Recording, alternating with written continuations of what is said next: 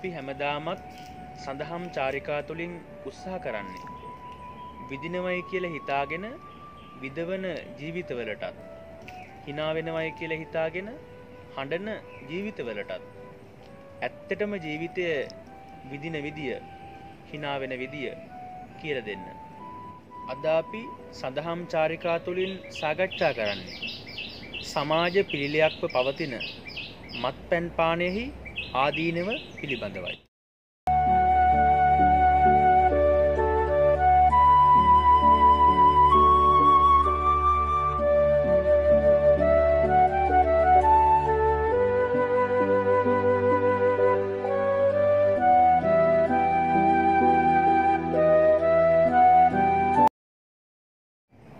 ගමක් ගමක් පාසා නගරයක් නගරයක් පාසා විහෙර විහාර පරයමින් සුරාසැල් ඉදිවෙන බව නොරහසක්.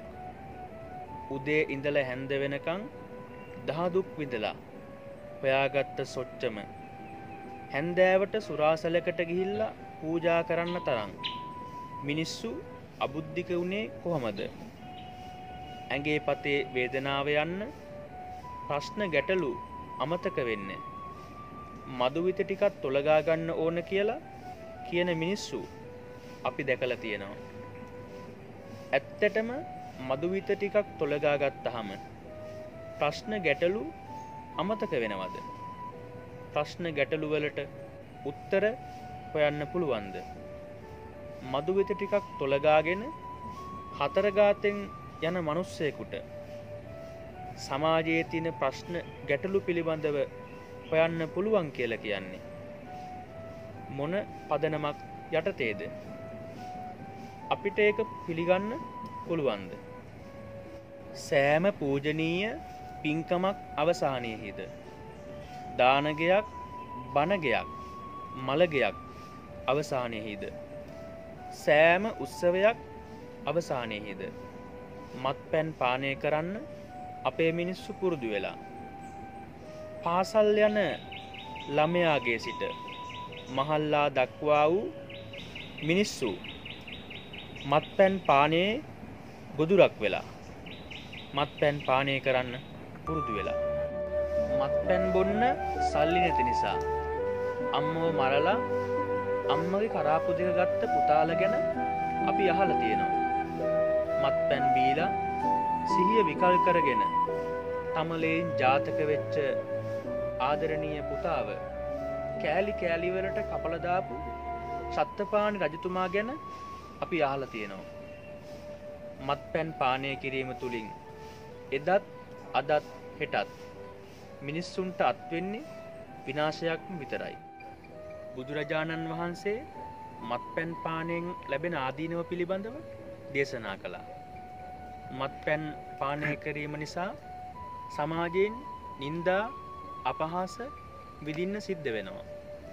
බේ බද්ද කියල කියන්නේ වැඩිපුරම හැමදාම මත් පැන් පානය කරන පුද්ගලයා. මත් පැන් පානය කිරීම තුළින් නින්දා අපහාස මෙන්ම තමන්ගේ සෞඛ්‍යත් පිරිහෙන බව බුදුරජාණන් වහන්සේ දේශනා කළා. මත් පැන් පානය කිරීම නිසා අංශභාගේ අධිරුදිර පීඩනය හෘදයාබාධ පිළිකාවැනි රෝගතත්ත්වයන් ඇතිවෙන බව පර්යේෂණ මගින් සොයාගෙන තිබෙනවා. තමන් බොහොම අමාරුවෙන් පයාගන්න සොච්චම වියදං කරලා. මත් පැන් බීලා තමන්ගේ ජීවිතයත් තමන්ගේ ආදරණීයන්ගේ ජීවිතයත් තම සොඳුරු කුටුම්බයත් විනාශ කරගන්නවද කියලා ඔබට තීරණය කරන්න අවස්ථාවක් තියෙනවා. රටක හිට දවස භාරගන්න ඉන්න. සොඳුරු තාරුන්නේ මත් පැන්බීලා විනාස වෙනවනම්. ඒක කොච්චර අවාසනාවක්ද. මිනිස්සු තමන්ගේ දියුණුව ගැන කතා කරන්නේ. අනාගතය ගැන සීන දකින්නේ. මත් පැන්බීලා සිහි විකල් වෙලානම්. ඒක කොච්චර කේදනීය ඉරණමක්ද. අවාසනාවන්ත සිදුවීමක්ද. රෑට හැන්දෑවට වැඩ ඇරිලා.